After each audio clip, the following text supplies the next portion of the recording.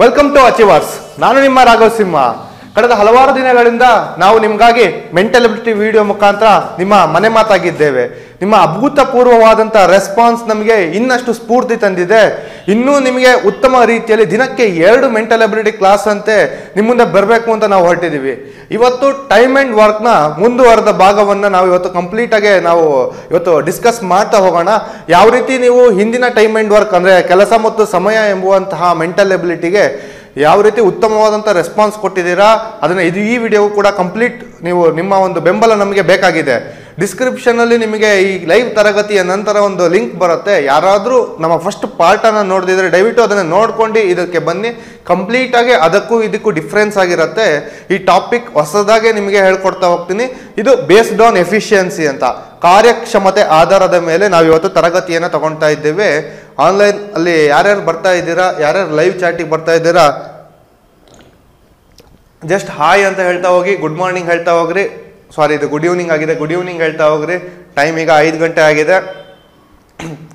ಈಗ ಬರ್ತಾ ಹೋಗ್ರಿ. ಬಂದವರೆಲ್ಲ ಹಾಯ್ ಗುಡ್ ಮಾರ್ನಿಂಗ್ ಹೇಳ್ತಾ ಹೋಗ್ರಿ. ಅಥವಾ ಯಾರಾದರೂ ನಿಮ್ಮ ಫ್ರೆಂಡ್ಸ್ ಇನ್ನೂ ಕೂಡ ನಮ್ಮ ಬಗ್ಗೆ ಅವೇರ್ನೆಸ್ ಇಲ್ಲದೆ ಇದ್ದರೆ ಅವ್ರಿಗೆ ಸೆಂಡ್ ಮಾಡಿ. ಯಾಕಂದರೆ ನಾವು ಕರ್ನಾಟಕದಾದ್ಯಂತ ಮೆಂಟಲ್ ಎಬಿಲಿಟಿಯನ್ನ ಇಷ್ಟು ಈಸಿಯಾಗಿ ಮಾಡ್ಬೋದಾ ಅಂತ ಹೇಳೋದನ್ನ ಹೇಳ್ಕೊಡ್ತಾ ಹೋಗ್ತೀವಿ. ಇಲ್ಲಿ ಒಂದು ಬೇಸ್ನ ಕೊರತೆ ಇದೆ, ಹಾಗಾಗಿ ಆ ಬೇಸ್ನ ತುಂಬಿಕೊಡುವಂತಹ ಕೆಲಸ ನಾವು ಅಚಿವರ್ಸ್ ಅಕಾಡೆಮಿಯಿಂದ ಮಾಡ್ತಾ ಇದ್ದೀವಿ. ದಯವಿಟ್ಟು ನಿಮ್ಮ ಸ್ನೇಹಿತರಿಗೆ ಕೂಡ ಸೆಂಡ್ ಮಾಡಿ, ಶೇರ್ ಮಾಡಿ ಲಿಂಕ್ನ. ಅಲ್ಲೇ ನಿಮಗೆ ಶೇರ್ ಅಂತ ಒಂದು ಆಪ್ಷನ್ ಇದೆ. ನಿಮ್ಮ ವಾಟ್ಸಪ್ ಗ್ರೂಪ್, ಟೆಲಿಗ್ರಾಮ್ ಗ್ರೂಪ್ಗಳಲ್ಲಿ ಶೇರ್ ಮಾಡಿರಿ. ಅಥವಾ ನಾನೊಂದು ನಂಬರ್ ಬರಿತೀನಿ. ಮೊನ್ನೆ ಕೂಡ ನೀವು ಎಸ್ ಎ ತರಗತಿ ಆದಮೇಲೆ ನಮಗೆ ಉತ್ತಮವಾದಂಥ ರೆಸ್ಪಾನ್ಸ್ ಕೂಡ ಕೊಟ್ಟಿದ್ದೀರಾ.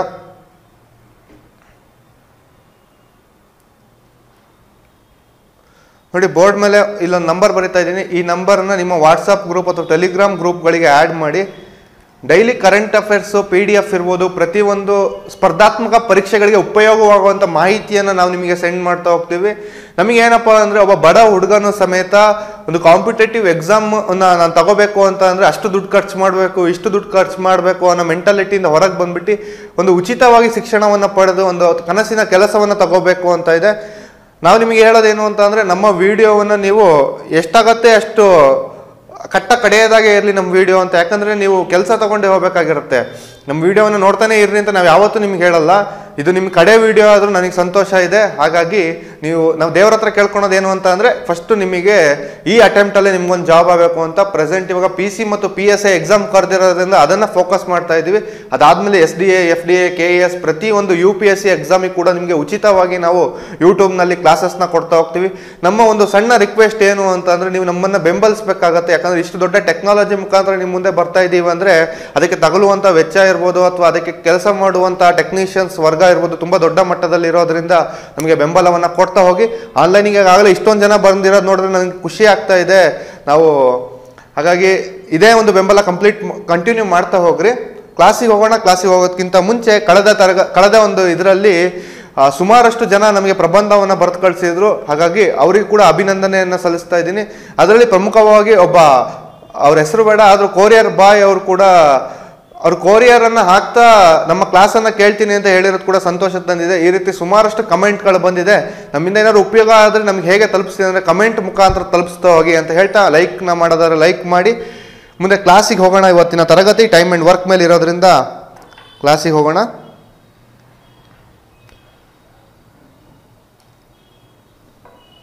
ಓಕೆ, ಏನಿದು ಸಮಯ ಮತ್ತು ಕೆಲಸ ಅನ್ನೋದ್ರ ಬಗ್ಗೆ ಸಿಂಪಲ್ ಆಗಿ ಯಾವ ರೀತಿ ಪ್ರಶ್ನೆ ಕೇಳ್ತಾರೆ ಅಂತ ಹಿಂದಿನ ತರಗತಿಯಲ್ಲಿ ನೋಡಿದ್ವಿ.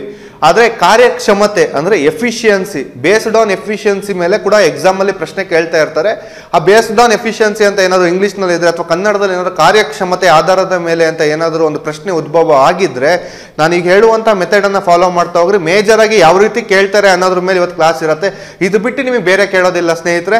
ಹಾಗಾಗಿ ಈ ಕ್ಲಾಸ್ನ ಎಷ್ಟಾಗುತ್ತೆ ಅಷ್ಟು ನೋಟ್ಸ್ ಮಾಡಿ ಇಟ್ಕೊಳ್ರಿ. ಇನ್ನು ಎಷ್ಟಾಗುತ್ತೆ ಅಷ್ಟು ಬೇಸ್ನ ಇದ್ರ ಮೇಲೆ ಇಂಪ್ರೂವ್ಮೆಂಟ್ ಮಾಡ್ತಾ ಹೋಗ್ರಿ. ನಿಮ್ಗೆ ಯಾವುದಾದ್ರೂ ಒಂದು ಪ್ರಶ್ನೆ ಮೇಲೆ ಡೌಟ್ ಇದ್ರೆ ಕೆಳಗಡೆ ಕಮೆಂಟಲ್ಲಿ ಆ ಪ್ರಶ್ನೆಯನ್ನು ಕೂಡ ಕಳಿಸ್ರಿ. ಅದನ್ನ ಸಾಲ್ವ್ ಮಾಡೋಕ್ಕಾದ್ರೆ ಸಾಲ್ವ್ ಮಾಡ್ತೀವಿ, ಇಲ್ಲ, ಈ ಬೇಸ್ ಪ್ರಾಬ್ಲಮೇ ಸಾಕು ಅಂತ ಅಂದರೆ ಇದನ್ನೇ ಮುಗಿಸ್ಕೊಡ್ತೀನಿ. ಸರಿ, ಸ್ನೇಹಿತರೆ, ಇಲ್ಲಿ ನೋಡ್ತಾ ಇರ್ರಿ. ಇಲ್ಲಿ ಏನು ಕೇಳಿದ್ದಾರೆ ಅಂತ ಅಂದರೆ ಎಕ್ಸಾಮಲ್ಲಿ ಯಾವ ರೀತಿ ಪ್ರಶ್ನೆ ಬರ್ಬೋದು ಅಂತ ಇದ್ರೆ, ನೋಡ್ರಿ A is two times efficient than B ಅಂತ. ಏನಾದ್ರು ಪ್ರಶ್ನೆಯಲ್ಲಿ ಈ ರೀತಿ ಒಂದು ಸೆಂಟೆನ್ಸ್ ಇದ್ರೆ, ಇದು ಈ ಒಂದು ಟೈಪಿಗೆ ಸೇರಿದೆ ಅಂತ, ಸಮಯ ಮತ್ತು ಕೆಲಸದಲ್ಲಿ ಈ ಟೈಪಿಗೆ ಸೇರಿದೆ ಅಂತ ಅರ್ಥ. ಎ ಯು ಬಿಗಿಂತ ಎರಡರಷ್ಟು ಕಾರ್ಯಕ್ಷಮತೆ ಉಳ್ಳವನಾಗಿದ್ದಾನೆ ಅಂತ ಅರ್ಥ ಆಗತ್ತೆ. ಸರಿ, ಎರಡರಷ್ಟು ಕಾರ್ಯಕ್ಷಮತೆ ಉಳ್ಳವನಾಗಿದ್ದಾನೆ ಅಂದರೆ ಹೇಗೆ ಬರಿಬೇಕಂದ್ರೆ, ಎ ಮತ್ತು ಬಿ ಅನ್ನ ಬರೆದ್ರೆ, ಇದರಲ್ಲಿ ಯಾರು ಜಾಸ್ತಿ ಕೆಲಸ ಅಂದರೆ ಕಾರ್ಯಕ್ಷಮತೆ ಉಳ್ಳವನಾಗಿದ್ದಾನೆ ಅಂತ ಅಂದ್ರೆ A is two times efficient ಅಂತ ಕೊಟ್ಟಿದ್ದಾರೆ. ಎ ಯು ಬಿಗಿಂತ ಎಫ್ ಕಾರ್ಯಕ್ಷಮತೆ ಯಾಗಿದ್ದಾನೆ ಅಂತ ಕೊಟ್ಟಿದ್ದಾರೆ. ಅಂದರೆ ಎ ಕಾರ್ಯಕ್ಷಮತೆ ಜಾಸ್ತಿ ಇದೆ ಅಂತ ಅರ್ಥ. ಯಾವತ್ತೂ ಒಬ್ಬ ವ್ಯಕ್ತಿಯ ಕಾರ್ಯಕ್ಷಮತೆ ಜಾಸ್ತಿ ಇದ್ದರೆ ಅವನು ತೆಗೆದುಕೊಳ್ಳುವಂಥ ಕೆಲಸ ಏನಾಗಿರುತ್ತೆ? ಕಡಿಮೆ ಆಗಿರುತ್ತೆ. ಇಲ್ಲಿ ನೋಡಿ ಟೈಮು ವರ್ಕು ಎಫಿಷಿಯನ್ಸಿ ಈ ಮೂರು ಗೊತ್ತಿದ್ರೆ ನಮಗೆ ಯಾವುದೇ ಪ್ರಾಬ್ಲಮ್ ಕೊಟ್ಟರು ಈ ಒಂದು ಟೈಪಲ್ಲಿ ನಾವು ಮಾಡ್ತಾ ಹೋಗ್ಬೋದು. ಸರಿ ಟೈಮು ಅಂದರೆ ಐದು ದಿನ. ಐದು ದಿನ ಅಂತ ಎಕ್ಸಾಂಪಲ್ಲು ಒಂದು ಕೆಲಸ ಮಾಡ್ತಾ ಇದ್ದರೆ ಅವನ ಕಾರ್ಯಕ್ಷಮತೆ ಎಷ್ಟಿರುತ್ತೆ?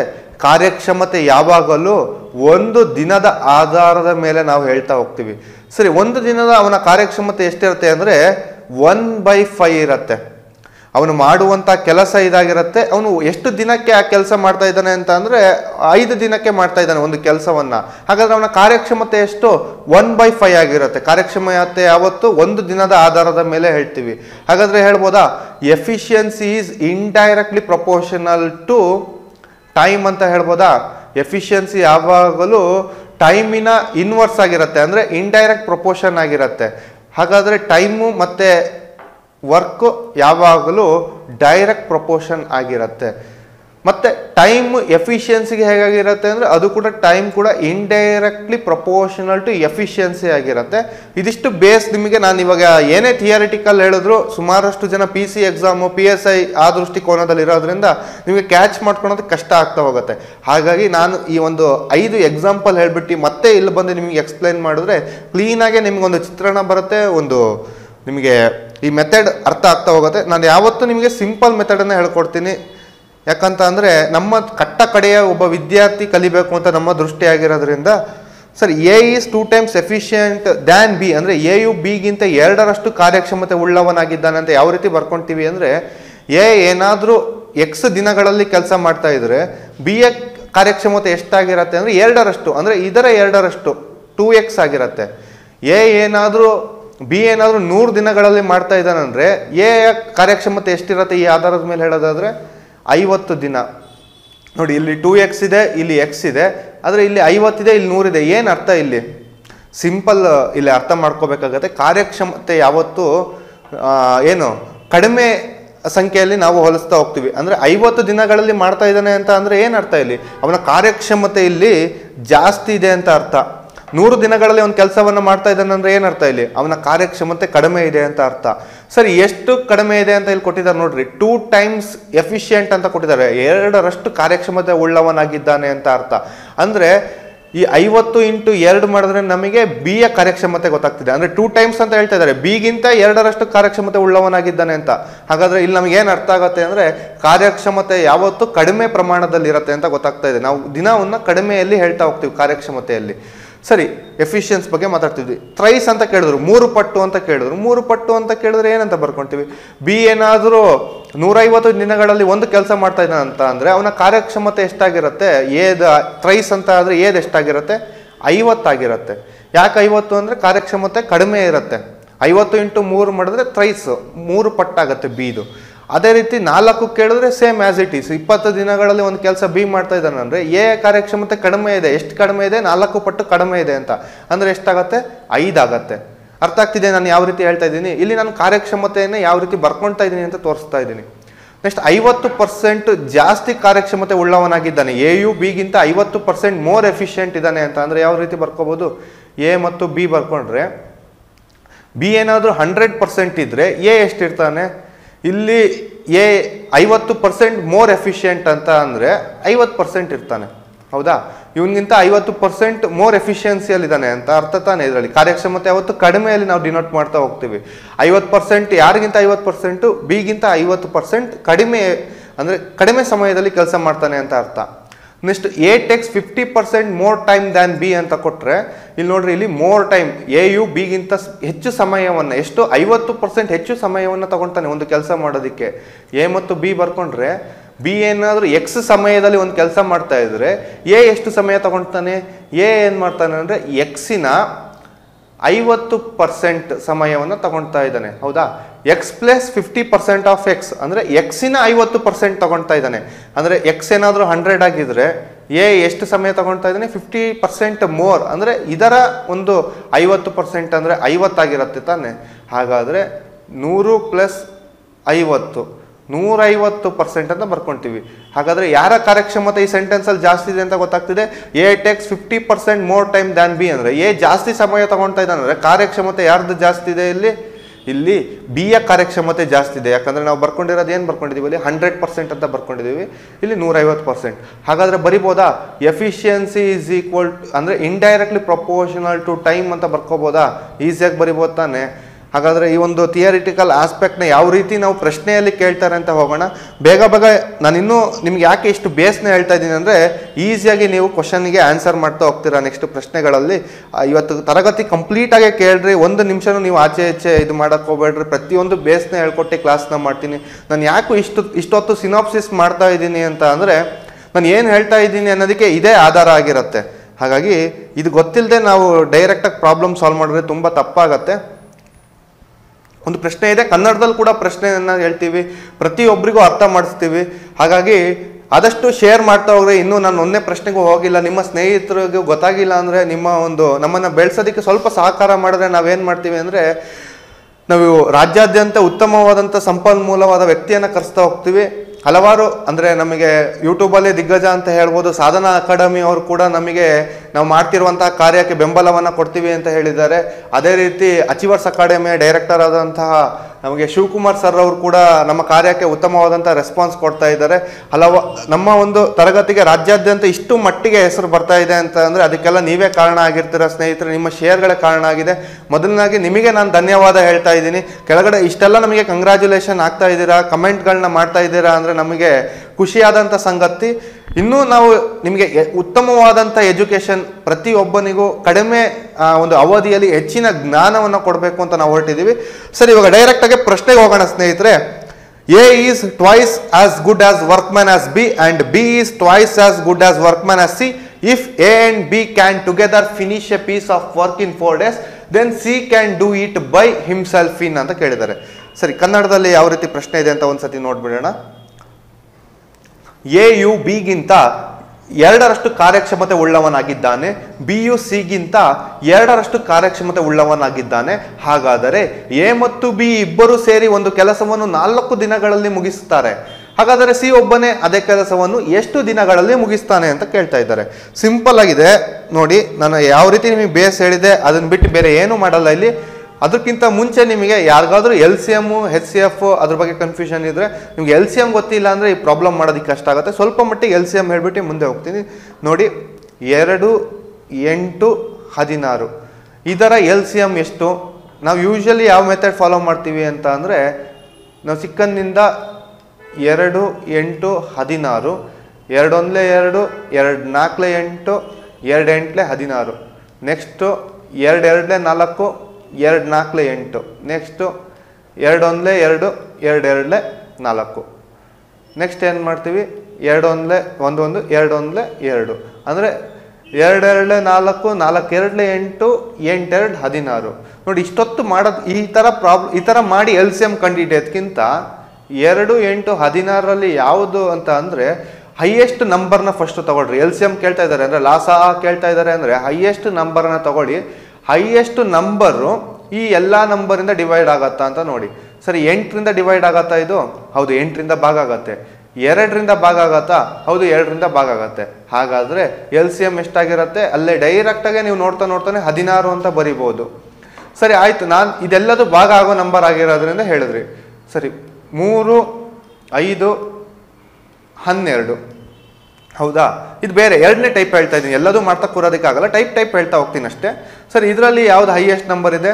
ಹನ್ನೆರಡು ಹೈಯೆಸ್ಟ್ ನಂಬರ್ ಇದೆ. ಹಾಗಾದರೆ ಮೂರಿಂದ ಹನ್ನೆರಡು ಡಿ, ಹನ್ನೆರಡು ಭಾಗ ಆಗತ್ತೆ. ಐದರಿಂದ ಭಾಗ ಆಗತ್ತಾ? ಆಗಲ್ಲ. ಇವಾಗ ಏನು ಮಾಡಬೇಕು ಅಂತ ಅಂದರೆ, ಈ ಹನ್ನೆರಡನ್ನ, ಅಂದರೆ ಒಂದನ್ನ ಗುಣ ಮಾಡ, ಒಂದರಿಂದ ಮಲ್ಟಿಪ್ಲೈ ಮಾಡಬೇಕಾಯಿತು ಒಂದರಿಂದ ಮಾಡೋದು ಬೇಡ, ಅದೇ ಬರುತ್ತೆ. ಎರಡರಿಂದ ಮಾಡೋಣ. ಸರಿ, ಎರಡರಿಂದ ಭಾಗ ಮಾಡಿದ್ರೆ, ಇಲ್ಲೂ ನೀವು ಫಸ್ಟ್ ಅದೇ ತೊಗೊಂಡೋಗ್ತಾನೆ. ಎರಡರಿಂದ ಮಲ್ಟಿಪ್ಲೈ ಮಾಡಿದ್ರೆ ಎಷ್ಟು ಬರುತ್ತೆ? ಇಪ್ಪತ್ನಾಲ್ಕು ಬರುತ್ತೆ. ಐದರಿಂದ ಇಪ್ಪತ್ನಾಲ್ಕು ಮಲ್ಟಿಪ್ಲೈ ಆಗತ್ತಾ? ಆಗಲ್ಲ. ಮೂರನ್ನ ತಗೊಳ್ಳಿ. ಹನ್ನೆರಡು ಮೂರಲೇ ಎಷ್ಟು? ಹನ್ನೆರಡು ಮೂರಲೆ ಮೂವತ್ತಾರು ಬರುತ್ತೆ. ಮೂವತ್ತಾರು ಐದರಿಂದ ಆಗತ್ತಾ? ಆಗಲ್ಲ. ನೆಕ್ಸ್ಟ್ ನಾಲ್ಕು ತಗೊಳ್ಳಿ. ಹನ್ನೆರಡು ನಾಲ್ಕಲೆ ಎಷ್ಟು? ಹನ್ನೆರಡು ನಾಲ್ಕಲೆ ನಲವತ್ತೆಂಟು ಐದರಿಂದ ಆಗತ್ತಾ? ಆಗಲ್ಲ. ಹನ್ನೆರಡು ಐದಲೇ ತಗೊಳ್ರಿ. ಹನ್ನೆರಡು ಐದಲೇ ಎಷ್ಟು? ಅರುವತ್ತು. ಅರುವತ್ತೈದರಿಂದ ಆಗತ್ತಾ? ಆಗತ್ತೆ. ಅಂದರೆ ಅಲ್ಲೇ ಡೈರೆಕ್ಟಾಗಿ ಒಂದು ಸಂಖ್ಯೆ ತಗೊಂಡು ಈ ಸಂಖ್ಯೆ ಅದರಿಂದ ನೀವು ಡೈರೆಕ್ಟಾಗೆ ಬರಿಬೋದಿತ್ತು. ಭಾಗ ಆಗೋ ಸಂಖ್ಯೆ ಯಾವುದು? ಹನ್ನೆರಡು, ಐದು ಅಂತಂದರೆ ಹನ್ನೆರಡು, ಐದಲೇ ಅರುವತ್ತು. ಅದೇ ಡೈರೆಕ್ಟ್ ಎಲ್ ಸಿ ಎಂ ಅರುವತ್ತಾಗಿರುತ್ತೆ.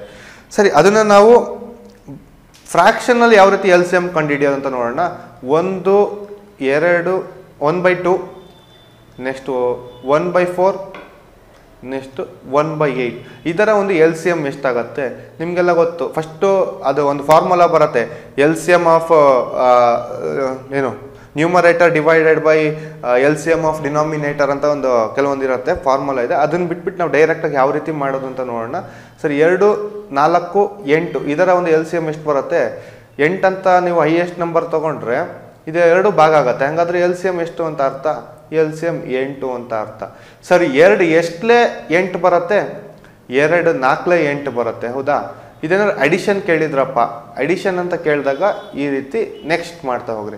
ನಾಲ್ಕು ಎಷ್ಟಲೇ ಎಂಟು ಬರುತ್ತೆ? ನಾಲ್ಕು ಎರಡಲೇ ಎಂಟು ಬರುತ್ತೆ. ಎಂಟು ಎಷ್ಟಲೇ ಎರಡು ಬರುತ್ತೆ? ಎಂಟು ಒಂದಲೇ ಸಾರಿ ಎಂಟು ಒಂದಲೇ ಎಂಟು ಬರುತ್ತೆ. ಆಯಿತಾ? ಇದಿಷ್ಟು ಕೂಡಿಸಿದ್ರೆ ಎಷ್ಟು ಬರುತ್ತೆ ಅಂದರೆ ಏಳು ಬೈ ಎಂಟು ಬರುತ್ತೆ. ಸರಿ. ಬೇರೆ ಕೇಳಿದ್ರಪ್ಪ.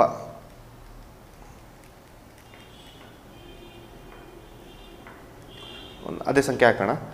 ಸರಿ, ಇವಾಗ ನಿಮಗೆಲ್ಲ ಗೊತ್ತು, ಇದು ಇದ್ರದ್ದು ಎಲ್ ಸಿ ಎಂ ಎಷ್ಟು ಬರುತ್ತೆ ಅಂತ? ಅರವತ್ತು ಬರುತ್ತೆ ಅಂತ ಗೊತ್ತು. ಯಾಕಂದರೆ ನಾವು ನೋಡಿದ್ವಲ್ಲ, ಐದರಿಂದ ಭಾಗ ಆಗಬೇಕು, ಐದರಿಂದ ಭಾಗ ಭಾಗ ಆಗಬೇಕಂದ್ರೆ ಮಲ್ಟಿಪ್ಲೈ ಮಾಡಿರಿ ಹನ್ನೆರಡು ಐದಲೇ ಎಷ್ಟು ಬರುತ್ತೆ? ಅರವತ್ತು ಬರುತ್ತೆ. ಯಾಕಂದರೆ ಮೂರಿಂದ ಆಗತ್ತೆ ಅಂತ ಹಿಂದಿನ ಪ್ರಾಬ್ಲಮ್ ಕ್ಲೀನಾಗಿ ಹೇಳಿದ್ದೆ. ಸರಿ, ಅರವತ್ತು ಬಂತು. ಮೂರು ಎಷ್ಟಲೇ ಅರುವತ್ತು? ಮೂರು ಇಪ್ಪತ್ತಲೇ ಅರುವತ್ತು. ನೆಕ್ಸ್ಟ್ ಐದು ಎಷ್ಟಲೇ ಅರುವತ್ತು? ಐದು. ಹನ್ನೆರಡಲೇ ಅರವತ್ತು.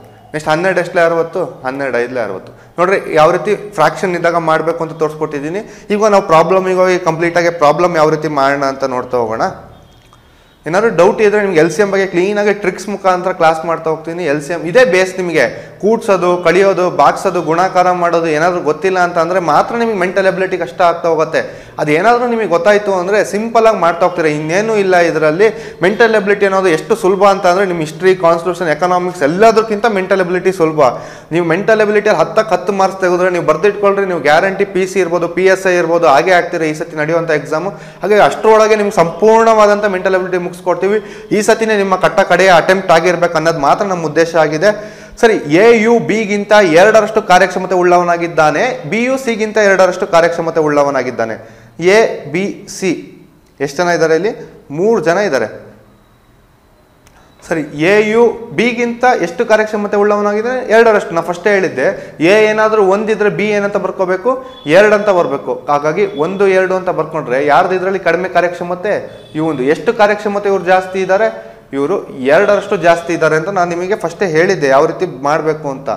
ಸರಿ, ಇವಾಗ ನಾವು ಅದನ್ನು ಎಷ್ಟು ಅಂತ ಗೊತ್ತಿಲ್ಲ ಇರೋದ್ರಿಂದ ಎಕ್ಸ್ ಅಂತ ತೊಗೊಳೋಣ ಎ ಯು ಬಿಗಿಂತ ಎರಡರಷ್ಟು ಕಾರ್ಯಕ್ಷಮತೆ ಉಳ್ಳವನಾಗಿದ್ದಾನೆ ಅಂದರೆ ಬಿ ಎಷ್ಟು ದಿನ ತಗೊಳ್ತಾನೆ ಇದರ ಎರಡು ಪಟ್ಟು ತಗೊಳ್ತಾನೆ ಎರಡು ಎಕ್ಸ್ ದಿನಗಳು ತಗೊಳ್ತಾನೆ ಬಿಗಿಂತ ಸಿ ಎರಡರಷ್ಟು ಕಾರ್ಯಕ್ಷಮತೆ ಉಳ್ಳವನಾಗಿದ್ದ ಬಿ ಏನಾದ್ರು ಎರಡು ಎಕ್ಸ್ ದಿನಗಳು ತಗೊಂಡ್ರೆ ಅದಕ್ಕಿಂತ ಎರಡರಷ್ಟು ಅಂದರೆ ನಾಲ್ಕು ಎಕ್ಸ್ ದಿನಗಳನ್ನು ಯಾರು ತಗೊಳ್ತಾರೆ ಸಿ ತಗೊಳ್ತಾರೆ ಇದಿಷ್ಟು ಬರೆಯೋದಕ್ಕೆ ನಿಮಗೆ ಗೊತ್ತಾದರೆ ಮರ್ತ್ಬಿಡಿ ನಿಮಗೆ. ಒಂದು ಮಾರ್ಕ್ಸ್ ನಿಮ್ಮ ಕಿಸೆಯಲ್ಲಿದೆ ಅಂತ ಅರ್ಥ, ನಿಮಗೆ ಬಂದೇ ಬರುತ್ತೆ ಮಾರ್ಕ್ಸ್. ಈಸಿಯಾಗಿ ಯಾವ ರೀತಿ ಮಾಡ್ಬೋದು ಅಂತ ಹೇಳ್ತೇವೆ. ನೆಕ್ಸ್ಟ್ ಏನು ಕೊಟ್ಟಿದ್ದಾರೆ ನೋಡೋಣ.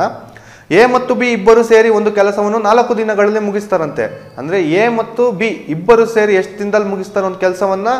ಇಬ್ಬರು ಸೇರಿ ಮುಗಿಸ್ತಾ ಇರುವಂತಹ ದಿನಗಳು ಎಷ್ಟು ಅಂತಂದ್ರೆ ಒಂದು ಕೆಲಸ ನಾಲ್ಕು ದಿನದಲ್ಲಿ ಮುಗಿಸ್ತಾರೆ. ಹಾಗಾದ್ರೆ ಎಫಿಷಿಯನ್ಸಿ ನಾವು ಒಂದು ದಿನದ ಕಾರ್ಯಕ್ಷಮತೆ ಕಂಡುಹಿಡಿಬೇಕಿಲ್ಲಿ. ಹಾಗಾಗಿ ಆ ಕಾರ್ಯಕ್ಷಮತೆ ಕಂಡುಹಿಡಿಬೇಕಂತ ಅಂದ್ರೆ ನಾವು ಒಂದು ದಿನ ಎಷ್ಟು ಮಾಡ್ತಾ ಇದ್ದಾರೆ ಕಾರ್ಯಕ್ಷಮತೆ ಇಲ್ಲಿ ಎಷ್ಟಿದೆ ಒಂದು ದಿನದ್ದು? ನಾವು ಫಸ್ಟ್ ಹೇಳಿದೆ ಒಂದು ದಿನ ಅಂತ ಬಂದ್ರೆ ಒನ್ ಬೈ ಫೋರ್ ಅಂತ ಮಾಡಬೇಕು. ಇಬ್ರು ಸೇರಿ ನಾಲ್ಕು ದಿನದಲ್ಲಿ ಒಂದು ಕೆಲಸ ಮಾಡ್ತಾ ಇದ್ದಾರೆ ಅಂದ್ರೆ ಒಂದು ದಿನದ ಕೆಲಸ ಇಬ್ರದ್ದು ಎಷ್ಟಿರುತ್ತೆ? ಒನ್ ಬೈ ಫೋರ್ ಇರುತ್ತೆ. ಹೌದಾ? ಎಫಿಷಿಯನ್ಸಿ ಒನ್ ಬೈ ಫೋರ್ ಇದೆ. ಸರಿ ಎ ಎಫಿಷಿಯನ್ಸಿ ಇದೆ ಎಕ್ಸ್ ದಿನಗಳು. ಅಂದ್ರೆ ಒನ್ ಬೈ ಎಕ್ಸ್ ಅಂತ ಬರ್ಕೋಬೋದಾ? ಬಿ ಯ ಎಫಿಷಿಯನ್ಸಿ ಎಷ್ಟಿದೆ? ಟೂ ಎಕ್ಸ್ ಇದೆ. ಬಿ ಯ ಕಾರ್ಯಕ್ಷಮತೆ ಎರಡು ಎಕ್ಸ್ ಇದೆ. ಹಾಗಾದರೆ ಒಂದು ಬೈ ಎರಡು ಎಕ್ಸ್ ಅಂತ ಬರ್ಕೋಬೋದಾ? Divided by one by four ಸರಿ, ಇವಾಗ ನೋಡಿ ಇಲ್ಲಿ ಎಕ್ಸ್ ಮತ್ತು two X L C M ನೋಡಿ ಹೈಯೆಸ್ಟ್ ಯಾವುದಿದೆ ಇಲ್ಲಿ? ಟೂ ಎಕ್ಸ್ ಇದೆ. ಎಕ್ಸ್ನ ಎಷ್ಟು ಸತಿ ಮಲ್ಟಿಪ್ಲೈ ಮಾಡಿದ್ರೆ ಟೂ ಎಕ್ಸ್ ಬರುತ್ತೆ? ಎರಡು ಸತಿ. ಹಾಗಾದರೆ ಎಲ್ ಸಿ ಎಂ ಎಷ್ಟು? ಟೂ ಎಕ್ಸ್ ಆಗಿರುತ್ತೆ. ಸರಿ ಎಕ್ಸ್ ಇಂಟು ಎಷ್ಟು ಮಾಡಿದ್ರೆ ಇದು ಬರುತ್ತೆ? ಎಕ್ಸ್ ಇಂಟು ಟೂ ಮಾಡಿದ್ರೆ ಟೂ ಎಕ್ಸ್ ಬರುತ್ತೆ ಪ್ಲಸ್ ಎಕ್ಸ್ ಇಂಟು ಎಷ್ಟು ಮಾಡಿದ್ರೆ ಟೂ ಎಕ್ಸ್ ಬರುತ್ತೆ ಟೂ ಎಕ್ಸ್ ಇಂಟು ಎಷ್ಟು ಮಾಡಿದ್ರೆ ಟೂ ಎಕ್ಸ್ ಬರುತ್ತೆ ಟೂ ಎಕ್ಸ್ ಇಂಟು ಒನ್ ಮಾಡಿದ್ರೆ ಟೂ ಎಕ್ಸ್ ಬರುತ್ತೆ. Is equal to one by four ಅರ್ಥ ಆಗಿದೆ? ನಾನು ಸಿಂಪಲ್ ಆಗಿ ಹೇಳ್ಕೊಡ್ತಾ ಇದ್ದೀನಿ. ಇಲ್ಲೇನು ಮ್ಯಾಜಿಕ್ ಮಾಡ್ತಾ ಇಲ್ಲ. ನೋಡಿ, ಎರಡು ಪ್ಲಸ್ ಒಂದು ಮೂರು ಬರುತ್ತೆ. Three divided by two X is equal to one by four ನಾನು ನಿಮ್ಗೆ ಹಿಂದಿನ ಕ್ಲಾಸಲ್ಲೇ ಹೇಳಿದೆ, ಯಾವ ರೀತಿ ಡಿನಾಮಿನೇಟರ್ ಡಿನಾಮಿನೇಟರ್ ಈಸಿಯಾಗಿ ಭಾಗ ಮಾಡ್ಬೋದು ಅಂತ ಡೈರೆಕ್ಟ್ ಭಾಗ ಆಗುತ್ತೆ. ಎರಡು ಒಂದ್ಲೆ, ಎರಡು, ಎರಡ್ಲೆ. ಹಾಗಾದರೆ ನೋಡ್ರಿ ನ್ಯೂಮರೇಟ್ರು ಈ ಕಡೆ ಬಂದರೆ ಏನಾಗುತ್ತೆ? ಡಿನಾಮಿನೇಟ್ರಿಗೆ ಮಲ್ಟಿಪ್ಲೈ ಆಗುತ್ತೆ. ಹಂಗಾರೆ X is equal to three into two ಬರಿಬೋದಾ? ಈಸಿಯಾಗಿ ಬರ್ಬೋದು. ಇದನ್ನು ನಾನು ಡಿನಾಮಿನೇಟರ್ ಅದ ನ್ಯೂಮರೇಟ್ರಿಗೆ ಮಾಡಿಕೊಂಡ್ರೆ ಇಲ್ಲಿ ಒಂದಿದೆ ಅಂದರೆ ಏನೂ ಇಲ್ಲ ಅಂತ ಅರ್ಥ. ಈ ಡಿನಾಮಿನೇಟರ್ನ ನಾವು ಮತ್ತೆ ನ್ಯೂಮರೇಟರ್ ಬಂದರೆ ಟೂ ಬರುತ್ತೆ. ಇದು ಈಕ್ವಲಿಂದ ಹೊರಗೆ ಬಂದರೆ ಮಲ್ಟಿಪ್ಲೈ ಆಗುತ್ತೆ. ಅಂದರೆ ಟೂ ಇಂಟು ತ್ರೀ ಅಂದರೆ ಎಕ್ಸ್ ಈಸ್ ಈಕ್ವಲ್ ಟು ಆರು ಅಂತ. ನಮಗೆ ಬೇಕಾಗಿರೋದು ಇಲ್ಲಿ ಯಾರಿಗೊಂದು ಕೆಲಸ ಬೇಕು? ಸಿ ಎ ಒಬ್ಬನೇ ಕೆಲಸ ಬೇಕು. ಸಿ ಒಬ್ಬನೇ ಅದೇ ಕೆಲಸವನ್ನು ಎಷ್ಟು ದಿನಗಳಲ್ಲಿ ಮಾಡ್ತಾನೆ ಅಂತ. ಸಿ ಎಷ್ಟು ದಿನದಲ್ಲಿ ತಗೊಳ್ತಾನೆ? ಅವನ ಕಾರ್ಯಕ್ಷಮತೆ ಫೋರ್ ಎಕ್ಸ್ ಇದೆ. ಎಕ್ಸ್ ವ್ಯಾಲ್ಯೂ ಗೊತ್ತಾಗಿದೆ ನಮ್ಗೆ. ಎಕ್ಸ್ ವ್ಯಾಲ್ಯೂ ಎಷ್ಟಿದೆ? ಫೋರ್ ಇಂಟು ಸಿಕ್ಸ್ ಅಂದರೆ ಇಪ್ಪತ್ನಾಲ್ಕು ದಿನಗಳಲ್ಲಿ ಅವನೊಬ್ಬನೇ ಈ ಕೆಲಸವನ್ನು ಮಾಡ್ತಾನೆ. ಹಾಗಾದರೆ ಉತ್ತರ ಏನು? ಆಪ್ಷನ್ ಎ ಅಕಸ್ಮಾತ್ ಪ್ರಶ್ನೆಯಲ್ಲಿ ಎ ಎ ಕಾರ್ಯಕ್ಷಮತೆ ಕೇಳಿದ್ರು ಅಂದರೆ ಎ ಎಷ್ಟು ದಿನ ತೊಗೊಳ್ತಾನೆ? ಎಕ್ಸ್ ದಿನ. ಎಕ್ಸ್ ವ್ಯಾಲ್ಯೂ ಎಷ್ಟು ಬಂದಿದೆ? ಆರು ಬಂದಿದೆ. ಎ ಒಬ್ಬನೇ ಆರು ದಿನಗಳಲ್ಲಿ ಆ ಕೆಲಸವನ್ನು ಮಾಡ್ತಾನೆ. ಬಿ ಯ ಕಾರ್ಯಕ್ಷಮತೆ ಎಷ್ಟಿದೆ? ಬಿ ಯ ಕಾರ್ಯಕ್ಷಮತೆ ಟೂ ಎಕ್ಸ್ ಇದೆ. ಹೌದಾ? ಹಂಗಾದ್ರೆ ಟೂ ಇಂಟು ಸಿಕ್ಸ್ ಎಷ್ಟು ಬರುತ್ತೆ? ಹನ್ನೆರಡು ಬರುತ್ತೆ. ಸರಿಯಾದ ಉತ್ತರ ಇಲ್ಲಿ ಏದು ಕೇ ಸಾರಿ ಸರಿಯಾದ ಉತ್ತರ ಸೀದ್ ಕೇಳಿರೋದ್ರಿಂದ ಉತ್ತರ ಏನು ಬರುತ್ತೆ? ಇಪ್ಪತ್ನಾಲ್ಕು ಬರುತ್ತೆ. ಏನಾದರೂ ಡೌಟ್ ಇದ್ದರೆ ಕೆಳಗಡೆ ಕೇಳ್ತಾ ಹೋಗ್ರಿ. ನಿಮ್ಗೆ ಎಲ್ ಸಿ ಎಂ ಹೇಳ್ಕೊಟ್ಟಿದ್ದೀನಿ. ಅದೇ ರೀತಿ ಗುಣಿಸೋದು, ಬಾಕ್ಸೋದು ಪ್ರತಿಯೊಂದು ನಿಮ್ಗೆ ಯಾಕೆ ಇಷ್ಟು ನಿಧಾನವಾಗಿ ಹೇಳ್ತಾ ಇದ್ದೀನಿ ಅಂದರೆ ಮೊದಲನೇ ಪ್ರಾಬ್ಲಮ್ ನಿಮ್ಗೆ ಕ್ಲೀನಾಗಿ ಅರ್ಥ ಆಯ್ತು ಅಂದರೆ ಎರಡು, ಮೂರು, ನಾಲ್ಕು ನೀವೇ ಮಾಡ್ತಾ ಹೋಗ್ತೀರಾ? ನೀವು ನೆಕ್ಸ್ಟ್ ಪ್ರಶ್ನೆ ಯಾರು ಬೇಗ ಮಾಡ್ತೀರಾ ಅಂತ ನಾನು ನೋಡ್ತಾ ಇದ್ದೀನಿ. ಮಾಡಿ ನೀವು ನೆಕ್ಸ್ಟ್ ಪ್ರಶ್ನೆ ತೋರಿಸ್ತೀನಿ ಇವಾಗ. ಈಸಿಯಾಗಿ ಮಾಡಿರಿ. ಓಕೆ ಕ್ವಶನ್ ಒಂದ್ಸತಿ ನೋಡ್ಕೊಡ್ರಿ ಮಾಡೋದಕ್ಕೆ ಟ್ರೈನ್ ಸ್ಟಾರ್ಟ್ ಮಾಡಿಬಿಡಿ. ಇಂಗ್ಲೀಷಲ್ಲಿ ಇರೋರಿ ಕನ್ನಡದಲ್ಲಿ ಮತ್ತೆ ಎಕ್ಸ್ಪ್ಲೈನ್ ಮಾಡ್ತೀನಿ. ಸ್ವಲ್ಪ ನಿಮಗೆ ನಾನು ಹೇಳ್ತಾ ಇರುವಂಥ ಮೆಥಡ್ ನಿಮ್ಗೆ ಈಸಿ ಆಗ್ತಾ ಇದೆ ಅಂತ ಅನ್ಸಿದ್ರೆ ತಮ್ಸ್ ಅಪ್ ಮಾಡ್ತಾ ಹೋಗ್ರಿ. ನಾನು ಇನ್ನೇನಾದ್ರು ನಾನೇ ತಿತ್ಕೋಬೇಕು ಅಂತ ಇದ್ರೆ ತಿತ್ಕೊಂತೀನಿ ಅದನ್ನು ಕೂಡ ಕಮೆಂಟ್ ಮಾಡಿರಿ. ನನ್ನಿಂದ ಏನಾದ್ರು ಫಾಲ್ಟ್ ಇದೆ, ಯಾಕಂದರೆ ನಾನು ಇಷ್ಟೊಂದು ಜನಕ್ಕೆ ಫೇಸ್ ಮಾಡಿ ಕ್ಲಾಸ್ ಮಾಡ್ತಾ ಲೈವ್ ಕ್ಲಾಸ್ ಮಾಡ್ತಾ ಇರೋದ್ರಿಂದ ನಾನು ನಿಮಗೆ ರೀಚ್ ಆಗ್ತಾ ಇದ್ದೀನಾ ಇಲ್ಲ ಅಂತ ತಿಳ್ಕೊಂಡು ಮಾಡಬೇಕಾಗತ್ತೆ ಕ್ಲಾಸು ಸರ್ ಎ ಮತ್ತು B A and B together can do a work in twelve days B and C together do it in fifteen days if A's efficiency is twice that of C then the days required for B alone to finish the work is ಅಂತ ಕೇಳಿದ್ದಾರೆ. ಸರಿ, ಕನ್ನಡದಲ್ಲಿ ನೋಡೋಣ. A ಮತ್ತು B ಒಂದು ಕೆಲಸವನ್ನು ಮುಗಿಸಲು ಹನ್ನೆರಡು ದಿನಗಳನ್ನು ತೆಗೆದುಕೊಳ್ತಾರಂತೆ. ಬಿ ಮತ್ತು ಸಿ ಅದೇ ಕೆಲಸವನ್ನು ಮುಗಿಸಲು ಹದಿನೈದು ದಿನಗಳನ್ನು ತೆಗೆದುಕೊಳ್ತಾರೆ. ಎ ಯ ಕಾರ್ಯಕ್ಷಮತೆಯು ಸಿ ಯ ಎರಡರಷ್ಟಿದ್ದರೆ ಹಾಗಾದರೆ ಬಿ ಒಬ್ಬನೇ ಆ ಕೆಲಸವನ್ನು ಎಷ್ಟು ದಿನಗಳಲ್ಲಿ ಮುಗಿಸ್ತಾನೆ. ನೋಡ್ರಿ ಟ್ರೈ ಮಾಡಿ, ಇಲ್ಲ ನಾನೇ ಮಾಡ್ತಾ ಹೋಗ್ತೀನಿ. ನೆಕ್ಸ್ಟ್ ರೆಕಾರ್ಡೆಡ್ ಕ್ಲಾಸ್ ಇದನ್ನೇ ಬಿಡ್ತೀವಿ, ಅವಾಗ ಇನ್ನೊಂದು ಸತಿ ಟ್ರೈ ಮಾಡಿರಿ, ಇವಾಗ ನಾನು ಮಾಡ್ತಾ ಇದ್ದೀನಿ, ನೋಡಿ ಒಂದು ಸ್ವಲ್ಪ. ಎ ಮತ್ತು ಬಿ ಮುಗಿಸಲು ಎಷ್ಟು ದಿನ ತಗೊಳ್ತಾ ಇದ್ದಾರೆ ಒಂದು ಕೆಲಸ? ಹನ್ನೆರಡು ದಿನ ತೊಗೊಳ್ತಾ ಇದ್ದಾರೆ ಅಂದರೆ ಏನರ್ಥ? A plus B. ನಾವು ಇವತ್ತು ಕಾರ್ಯಕ್ಷಮತೆ ಆಧಾರದ ಮೇಲೆ ಮಾಡೋದ್ರಿಂದ ಒಂದು ದಿನ ಕಾರ್ಯಕ್ಷಮತೆ, ಯಾವಾಗಲೂ ಕಾರ್ಯಕ್ಷಮತೆ ಒಂದು ದಿನದ ಆಧಾರದ ಮೇಲೆ ಮಾಡ್ತೀವಿ. ಬೇಸ್ಡ್ ಆನ್ ಎಫಿಷಿಯನ್ಸಿ ಬಂದರೆ ಒನ್ ಡೇ ಅಂದರೆ ಒನ್ ಬೈ ಟ್ವೆಲ್ ಬಿ ಮತ್ತು ಸಿ ಅದೇ ಕೆಲಸವನ್ನು ಒಂದು ಅದೇ ಕೆಲಸವನ್ನು ಮುಗಿಸಲು ಎಷ್ಟು ದಿನ ತೊಗೊಳ್ತಾರಂತೆ? ಹದಿನೈದು ದಿನ ತೊಗೊಳ್ತಾರೆ. ಅಂದರೆ ಒಂದು ದಿನದ ಕಾರ್ಯಕ್ಷಮತೆ ಅವರಿಬ್ಬರದ್ದು ಎಷ್ಟಿದೆ? ಒನ್ ಬೈ ಫಿಫ್ಟೀನ್ ಇದೆ. ಸರಿ, ಬರ್ಕೊಂಡು. ಇಷ್ಟು ಬರ್ಕೊಳ್ಳಿ. ಅಲ್ಲಿ ಏನು ಕೊಟ್ಟಿದ್ದಾರೆ? ಆ ಡಾಟಾಸ್ನ ಬರ್ಕೊಳ್ಳಿ ಅಷ್ಟೇ. ನೆಕ್ಸ್ಟ್ ಏನು ಕೊಟ್ಟಿದ್ದಾರೆ? ಎ ಎ ಯ ಕಾರ್ಯಕ್ಷಮತೆಯು ಸಿ ಯ ಎರಡರಷ್ಟಿದ್ದರೆ ಎರಡರಷ್ಟಿದೆ ಅಂತೆ. ಎ ಯ ಕಾರ್ಯಕ್ಷಮತೆ ಸಿ ಎ ಎಷ್ಟಿದೆ ಅಂತೆ? ಎರಡರಷ್ಟಿದೆ. ಅಂದರೆ ಎ ಎಕ್ಸ್ ಅಂದರೆ ಸಿ ಎಷ್ಟಾಗಿರುತ್ತೆ? ಎಗಿಂತ ಜಾಸ್ತಿ, ಎಷ್ಟು ಜಾಸ್ತಿ? ಎರಡರಷ್ಟು. ಅಂದರೆ ಟೂ ಎಕ್ಸ್ ಅಷ್ಟು ಜಾಸ್ತಿ. ಹೌದಾ? ಇಷ್ಟು ಬರ್ಕೊಳ್ಳಿ. ನೆಕ್ಸ್ಟ್ ಏನಿದೆ? ಹಾಗಾದರೆ ಬಿ ಒಬ್ಬನೇ ಕೆಲಸವನ್ನು ಎಷ್ಟು ದಿನಗಳಲ್ಲಿ ಮುಗಿಸ್ತಾನೆ? ನಮಗೆ ಬೇಕಾಗಿರೋದು ಬಿ ಯ ಕೆಲಸ ಬೇಕು. ಹೌದಾ? ಬಿದ್ ಕಂಡುಹಿಡಿದ್ರೆ ಅಷ್ಟೇ ಮುಗೀತು. ಇಷ್ಟು ವ್ಯಾಲ್ಯೂಸ್ ಕೊಟ್ಟಿದ್ದಾರೆ. ಇದು ಬಿಟ್ಟು ಬೇರೆ ಏನೂ ಕೊಟ್ಟಿಲ್ಲ. ಹಂಗಾಗಿ ಇದರಲ್ಲೇ ಕಂಡುಹಿಡಿಬೇಕು. ಹೇಗೆ ಕಂಡುಹಿಡಿಬೋದು ಅಂತ ಕೊಡ್ತೀನಿ. ನೀವು ಆಲ್ರೆಡಿ ಟೆಂತಲ್ಲೆಲ್ಲ ಕಲ್ತಿರ್ತೀರ. ಏನು ಸೈಮಲ್ಟೇನಿಯಸ್ ಈಕ್ವೇಷನ್ ಯಾವ ರೀತಿ ಸಾಲ್ವ್ ಮಾಡೋದು ಅಂತ? ಇದು ಈಕ್ವೇಷನ್ ಒನ್ ಥರ ಇದು ಈಕ್ವೇಷನ್ ಟೂ ಥರ ಇಲ್ವಾ? ಸಾಲ್ವ್ ಮಾಡ್ಬೋದು, ಆರಾಮಾಗಿ. ಎ ಬಿ ಇದೆ ಬಿ ಸಿ ಇದೆ. ಎರಡರಲ್ಲೂ ಒಂದು ಯಾವ್ದಾದ್ರು ಒಂದು ಕಾಮನ್ ಇದ್ರೆ ನಾವು ಸೈಮಲ್ಟೇನಿಯಸ್ ಈಕ್ವೇಷನ್ ಮಾಡ್ಬೋದು. ಇಲ್ಲಿ ಎರಡು ಯಾವ್ದು ಕಾಮನ್ ಇದೆ? ಬಿ ಕಾಮನ್ ಇದೆ. ಹಾಗಾದ್ರೆ ಸೈಮಲ್ಟೇನಿಯಸ್ ಈಕ್ವೇಷನ್ ಯಾವ ರೀತಿ ಮಾಡೋದಂದ್ರೆ, ಈ ರೀತಿ ಎರಡು ಈಕ್ವೇಷನ್ ಅಲ್ಲಿ ಯಾವ್ದಾದ್ರು ಕಾಮನ್ ಸಿಕ್ಕಿದ್ರೆ ಡೈರೆಕ್ಟ್ ನಾವೇನು ಮಾಡೋಣ ಇದು ಏನು ಇಲ್ಲ ಅಂದ್ರೆ ಏನು ಅರ್ಥ ಇಲ್ಲಿ? ಪ್ಲಸ್ ಇದೆ ಅಂತ ಅರ್ಥ, ಹೌದಾ? ಪ್ಲಸ್ ಪ್ಲಸ್ ಏನಾಗುತ್ತೆ? ಮೈನಸ್ ಆಗುತ್ತೆ ಸೈಮಲ್ಟೇನಿಯಸ್ ಈಕ್ವೇಷನ್ ಅಲ್ಲಿ. ಮೈನಸ್ ಮೈನಸ್ ಏನಾಗ ಪ್ಲಸ್ ಪ್ಲಸ್ ಏನಾಗುತ್ತೆ? ಮತ್ತೆ ಮೈನಸ್ ಆಗುತ್ತೆ. ಮತ್ತೆ ಪ್ಲಸ್ ಪ್ಲಸ್ ಏನಾಗುತ್ತೆ? ಮೈನಸ್ ಆಗುತ್ತೆ. ಸರಿ ಬಿ ಮತ್ತು B cancel next A plus plus minus ಅಂದರೆ minus symbol next C is equal to one by twelve minus one by fifteen ನಾನು ಯಾವ ರೀತಿ ಇಕ್ವೇಷನ್ ಮಾಡಿದೆ ಅಂತ ನೀವು ಆಲ್ರೆಡಿ ಕಲ್ತಿರ್ತೀರ. ಆದರೂ ಇದನ್ನು ಸಾಲ್ವ್ ಮಾಡೋದು ನಮಗೆ A minus C is equal to one by twelve minus one by fifteen ಬಂತು. ಹಾಗಾದರೆ A minus C is equal to ಎಷ್ಟು? ಎಲ್ ಸಿ ಎಂ ಎಷ್ಟು ಬರುತ್ತೆ? ಹನ್ನೆರಡು ಹದಿನೈದರದು ಈ ರೀತಿ ಹಾಕೊಂಡು ಮಾಡೋದಕ್ಕೆ ಹೋಗ್ಬೇಡಿ. ಡೈರೆಕ್ಟ್ ಹೇಳ್ಬೋದಾ? ಇದು ಹನ್ನೆರಡರಿಂದ ಭಾಗ ಆಗುತ್ತಾ? ಆಗಲ್ಲ. ನೆಕ್ಸ್ಟ್ ಡಿಜಿಟ್ ತೊಗೊಳ್ರಿ. ಹದಿನೈದು ಎರಡಲೆ. ಹೈಯೆಸ್ಟ್ ನಂಬರಿಗೆ ಮಲ್ಟಿಪ್ಲೈ ಮಾಡ್ತಾ ಹೋಗ್ರಿ. ಹನ್ನೆರಡು, ಮೂವತ್ತು. ಮೂವತ್ತು ಹನ್ನೆರಡರಿಂದ ಭಾಗ ಆಗುತ್ತಾ? ಆಗಲ್ಲ. ಮೂರು ತೊಗೊಂಡು ನಲವತ್ತೈದು ಆಗತ್ತಾ? ಆಗಲ್ಲ. ನಾಲ್ಕು ತೊಗೊಳ್ರಿ. ಅರವತ್ತು ಆಗತ್ತಾ? ಆಗತ್ತೆ. ಹದಿನೈದನ್ನ ನಾಲ್ಕಲೆ ಅರವತ್ತು. ಆಯಿತಾ? ಎಲ್ ಸಿ ಎಂ ಅರವತ್ತು ಬರುತ್ತೆ. ಹನ್ನೆರಡು ಎಷ್ಟಲೇ ಅರವತ್ತು ಬರುತ್ತೆ? ಹನ್ನೆರಡು. ಐದಲೇ ಅರವತ್ತು ಬರುತ್ತೆ. ಐದು ಹದಿನೈದು ಎಷ್ಟಲೇ ನಾಲ್ಕು ಅರವತ್ತು ಬರುತ್ತೆ, ನಾಲ್ಕಲೆ. ಹೌದಾ?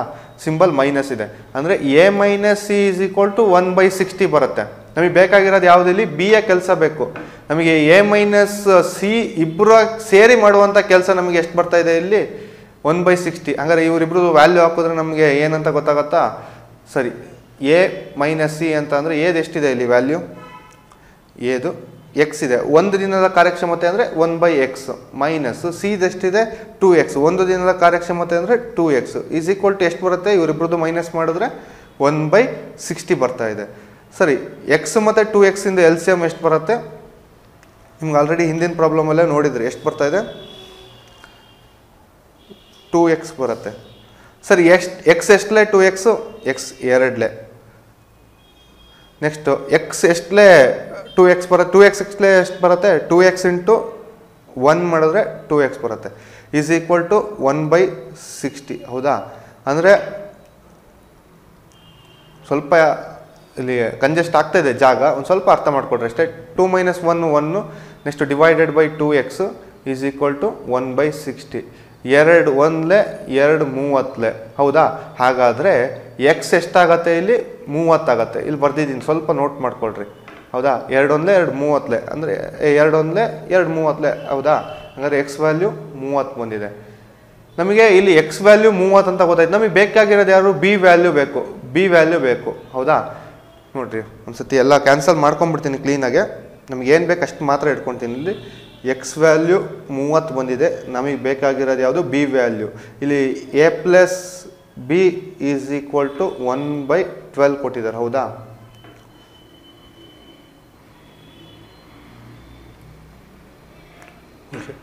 A plus B is equal to one by twelve ಅಂತ ಫಸ್ಟೇ ಬರ್ಕೊಂಡಿದ್ವಿ. ಬಿ ಎ ವ್ಯಾಲ್ಯೂ ನಮ್ಗೆ ಆಲ್ರೆಡಿ ಗೊತ್ತಾಗಿದೆ. ಏದು ಎಕ್ಸ್ ಅಂತ ಎಕ್ಸ್ ಎಷ್ಟು ಬಂದಿದೆ? ಮೂವತ್ತು ಬಂದಿದೆ. ಹಾಗಾದರೆ ಬಿ ವ್ಯಾಲ್ಯೂ ಕಂಡುಹಿಡಿಬೋದಾ? ಆರಾಮಾಗೆ ಕಂಡುಹಿಡಿಬೋದು. ಏದು ಎಷ್ಟು ಬಂದಿದೆ? ಒಂದು ದಿನದ ಕಾರ್ಯಕ್ಷಮತೆ ಅಂದರೆ ಒನ್ ಬೈ ತರ್ಟಿ ಅಂತ ಬರ್ಕೋಬೋದಾ? ಎಕ್ಸ್ ಅಂದರೆ ಎಕ್ಸ್ ಡೇಸ್ ಮೂವತ್ತು ದಿನ ತೊಗೊಳ್ತಾನೆ ಅಂತ ಅಷ್ಟೇ ಬಂದಿದೆ ಆನ್ಸರು ಆದರೆ ಒಂದು ದಿನಕ್ಕೆ ಎಷ್ಟು ತೊಗೊಳ್ತಾನೆ ಕಾರ್ಯಕ್ಷಮತೆ ಅಂತ ಈಗ ಬರ್ಕೊಂಡ್ಮೇಲೆ plus B is equal to ಹನ್ನೆರಡು. ಹಾಗಾದರೆ ಬಿ ಅನ್ ಬರ್ಕೊಂಡು ಬಿ ಎಷ್ಟು ಬೇಕಾಗಿದೆ ಅಷ್ಟೇ ಬೇಕಾಗಿರೋದ್ರಿಂದ ಒನ್ ಬೈ ಹನ್ನೆರಡು ಮೈನಸ್ ಒನ್ ಬೈ ಮೂವತ್ತು. ಇದೆರಡರ ಎಲ್ ಸಿ ಎಂ ಎಷ್ಟು ಬರುತ್ತೆ? ಇಂಟು ಟು ಅಂದರೆ ಅರುವತ್ತು.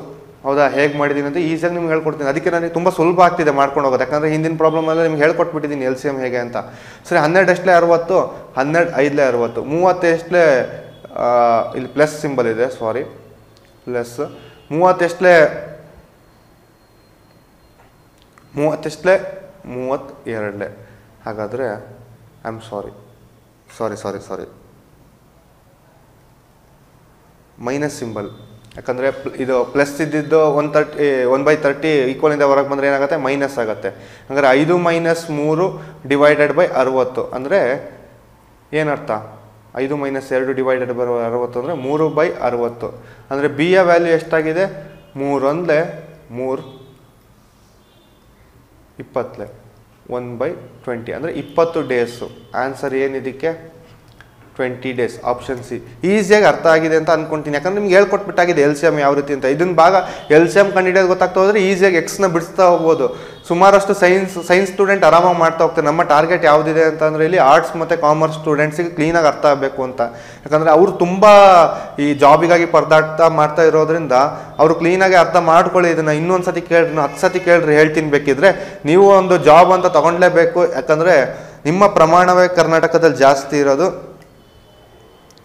ನೆಕ್ಸ್ಟ್ ಪ್ರಾಬ್ಲಮಿಗೆ ಹೋಗೋಣ. ಅರ್ಥ ಆಗಿದ್ರೆ ಟಮ್ಸ್ ಅಪ್ ಮಾಡ್ರಿ, ಇಲ್ಲ ಇನ್ನೊಂದು ಸತಿ ಹೇಳ್ತೀನಿ. ಸರಿ next ಪ್ರಾಬ್ಲಮಲ್ಲಿ Anita and Ankita can do a job together in seven days Anita is one three by four times as efficient as Ankita. The same job can be done by Anita alone in alone is ಅಂತ ಕೇಳಿದ್ದಾರೆ. ನೋಡಿ ಕನ್ನಡದಲ್ಲಿ ನೋಡೋಣ.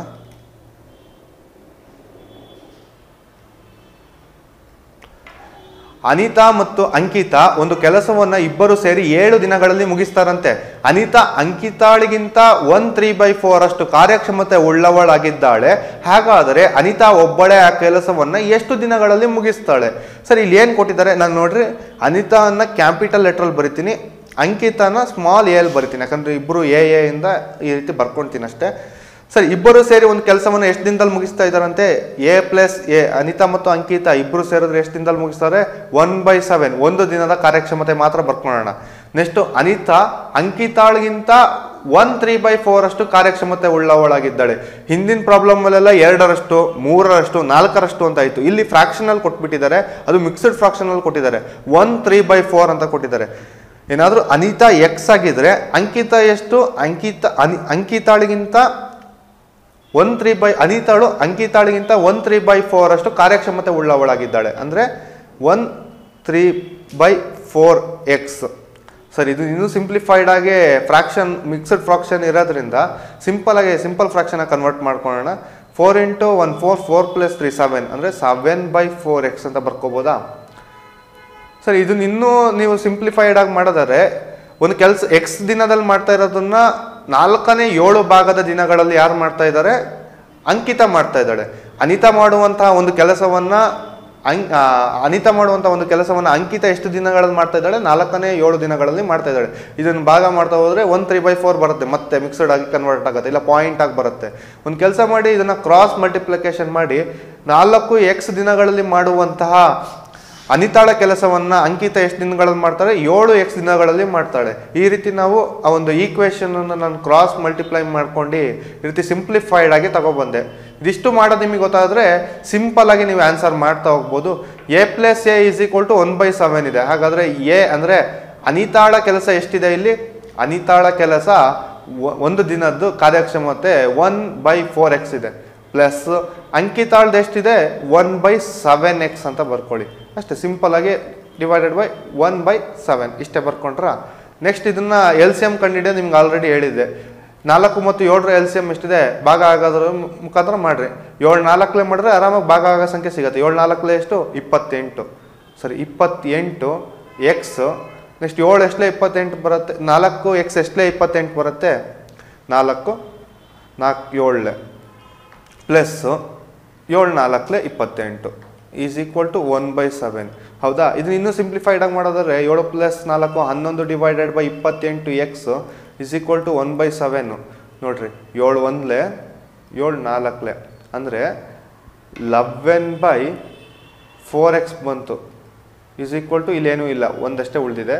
Sir, ಈ ಎಕ್ಸ್ನ ನಾವು ಈ ಕಡೆ ತಗೊಂಡ್ರೆ ಈಕ್ವಲ್ ಇಂದ ಹೊರಗೆ ಬಂದ್ರೆ ಏನಾಗುತ್ತೆ? ಡಿನಾಮಿನೇಟರ್ ನ್ಯೂಮರೇಟರ್ ಆಗುತ್ತೆ. ಅಂದರೆ x is equal to eleven by four ಅಂತ ಬರ್ಕೋಬೋದಾ? ಎಕ್ಸ್ ವ್ಯಾಲ್ಯೂ ಗೊತ್ತಾಯಿತು. ಎಕ್ಸ್ನ ವ್ಯಾಲ್ಯೂ ಎಷ್ಟಿದೆ? ಹನ್ನೊಂದು ಬೈ ನಾಲ್ಕಿದೆ ನಮ್ಗೆ ಯಾರು ವ್ಯಾಲ್ಯೂ ಬೇಕು ಇಲ್ಲಿ? ಇಲ್ಲಿ ಹಾಗಾದರೆ ಅನಿತಾ ಒಬ್ಬಳೇ ಆ ಕೆಲಸವನ್ನು ಎಷ್ಟು ದಿನಗಳಲ್ಲಿ ಮುಗಿಸ್ತಾಳೆ? ಹೌದಾ? ಅನಿತಾ ಒಬ್ಬಳೇ ಆ ಕೆಲಸವನ್ನ ಎಷ್ಟು ದಿನಗಳಲ್ಲಿ ಮುಗಿಸ್ತಾಳೆ ಅಂತ ಕೊಟ್ಟಿದ್ದಾರೆ. ಅನಿತಾಳ ಎಕ್ಸ್ ಎಷ್ಟಿದೆ? ಫೋರ್ ಎಕ್ಸ್ ಇದೆ. ಅಂದರೆ four into eleven by four ಹೌದಾ? ನಾಲ್ಕು ಇಂಟು ಲೆವೆನ್ ಬೈ ಫೋರ್ ಅಂದರೆ ನಾಲ್ಕು ನಾಲ್ಕು ಕ್ಯಾನ್ಸಲ್, ಅಂದರೆ ಉತ್ತರ ಹನ್ನೊಂದು ದಿನ. ಅಂದರೆ ಅನಿತಾ ಒಬ್ಬಳೇ ಆ ಕೆಲಸವನ್ನು ಎಷ್ಟು ದಿನಗಳಲ್ಲಿ ಮಾಡ್ತಾಳೆ ಅಂತ ಹೇಳಿದ್ರೆ ಹನ್ನೊಂದು ದಿನಗಳಲ್ಲಿ ಮಾಡ್ತಾರೆ. ಸಿಂಪಲ್ ಆಗೇ ಮಾಡ್ತಾ ಹೋಗ್ಬೋದು. ಇದಕ್ಕೂ ಬಿಟ್ಟು ಏನು ಟ್ರಿಕ್ಸ್ ಇಲ್ಲ ಇದರಲ್ಲಿ. ಯಾಕಂದರೆ ಕೊಟ್ಟಿರುವಂಥ ಡಾಟಾಸ್ ಇಷ್ಟೇ ಇದೆ ಸ್ನೇಹಿತರೆ. ಟೈಮ್ ಆ್ಯಂಡ್ ವರ್ಕಲ್ಲಿ ಯಾವ ರೀತಿ ಟ್ರಿಕ್ಸ್ ಅಂತ ನಿಮಗೆ ಯಾವುದು ಬರ್ತಾ ಹೋಗೋದಿಲ್ಲ. ಆ ಸಿಚುಯೇಷನ್ಗೆ ತಕ್ಕಂತೆ ನೀವು ಯಾವ ರೀತಿ ನೀವು ಲಾಜಿಕಲ್ ಅಥವಾ ಅನಾಲಿಟಿಕಲ್ ಥಿಂಕಿಂಗ್ ಮಾಡ್ತೀರಾ ಅನ್ನೋದು ಇಲ್ಲಿ ಇಂಪಾರ್ಟೆಂಟ್ ಆಗ್ತಾ ಹೋಗುತ್ತೆ. ಮೆಂಟಲ್ ಎಬಿಲಿಟಿ ಅಥವಾ ಯಾಕೆ ನಿಮ್ಗೆ ಯಾಕೆ ಆ ಪ್ರಶ್ನೆಗಳನ್ನ ಕೇಳ್ತಾರೆ ಅಂದ್ರೆ ಆ ಸಿಚುಯೇಷನ್ ಅಲ್ಲಿ ನೀವು ಯಾವ ರೀತಿ ಹ್ಯಾಂಡಲ್ ಮಾಡ್ತೀರಾ ಅಂತ. ಹಾಗಾಗಿ ಪ್ರತಿಯೊಬ್ಬರು ನೀವು ಏನೊಂದು ಅಧಿಕಾರಿ ಆಗೋರು ಇರ್ತೀರಾ ಅಥವಾ ಯಾವುದೋ ಒಂದು ಬಿ ದರ್ಜೆ, ಸಿ ದರ್ಜೆ ನೌಕರಿಯನ್ನು ತಗೋಬೇಕು ಅಂತ ಇರ್ತೀರಾ ಆ ಸಿಚುಯೇಷನ್ಗೆ ತಕ್ಕಂಥ ಡಿಸಿಷನ್ ನೀವು ತಗೊಳ್ತೀರಾ ಅನ್ನೋದಕ್ಕೋಸ್ಕರ ಮೆಂಟಲ್ ಎಬಿಲಿಟಿಯನ್ನು ಕೇಳ್ತಾ ಹೋಗ್ತಾರೆ. ಹಾಗಾಗಿ ಇಲ್ಲಿ ನಾವು ಏನೇ ಟ್ರಿಕ್ಸ್ ಮಾಡಿದ್ರೆ ಏನಾಗ್ತಾ ಹೋಗುತ್ತೆ ಅಂದರೆ ಅದಕ್ಕೆ ಬೇಕು ಆ ಆ ಒಂದು ಪರೀಕ್ಷೆ ಅಥವಾ ಆ ಒಂದು ಕೆಲಸಕ್ಕೆ ಬೇಕಾದಂತಹ ಒಂದು, ಆ ಕಾರ್ಯಕ್ಷಮತೆ ನಿಮ್ಗೆ ಇಲ್ದಂತಾಗತ್ತೆ. ಹಾಗಾಗಿ ನೀವು ಒಂದು ಈ ಬೇಸ್ನ ನೀವು ಕಲೀಲೇಬೇಕಾಗತ್ತೆ. ಯಾಕೆ ಇದು ಇಟ್ಟಿರ್ತಾರೆ ಅಂದರೆ ನಿಮ್ಮ ಕಾರ್ಯಕ್ಷಮತೆಯನ್ನು ಟೆಸ್ಟ್ ಮಾಡೋದಕ್ಕೆ. ಬೇರೆಯವರ ಕಾರ್ಯಕ್ಷಮತೆ ಯಾಕೆ ನೀವು ಟೆಸ್ಟ್ ಮಾಡಿ ಮೆಂಟಲ್ ಎಬಿಲಿಟಿ ಇಟ್ಟಿದ್ದಾರೆ ಅಂದರೆ ನಿಮ್ಮ ಕಾರ್ಯಕ್ಷಮತೆ ಎಷ್ಟಿದೆ ಅಂತ ತಿಳ್ಕೊಳೋದಕ್ಕೆ ಸ್ನೇಹಿತರೆ. ಹಾಗಾಗಿ ನೀವು ಇದನ್ನು ತಿಳ್ಕೊಳ್ಳೇಬೇಕಾಗತ್ತೆ ಕಷ್ಟ ಇದೆ ಅಂತ ಬಿಡೋದಕ್ಕೆ ಹೋಗ್ಬೇಡ್ರಿ. ನೀವೇನಾದ್ರು ಮಧ್ಯದಿಂದ ಈ ಕ್ಲಾಸಿಗೆ ಬಂದಿದ್ರೆ ಮತ್ತೆ ನೀವು ರೆಕಾರ್ಡ್, ಇವಾಗ ಕಂಪ್ಲೀಟಾಗಿ ಬೇರೆ ಪ್ರಾಬ್ಲಮ್ಮೇ ಇರುತ್ತೆ. Next problem. ಹಾಗಾಗಿ ಇಲ್ಲಿಂದ ಕೇಳ್ತಾ ಹೋಗ್ರಿ.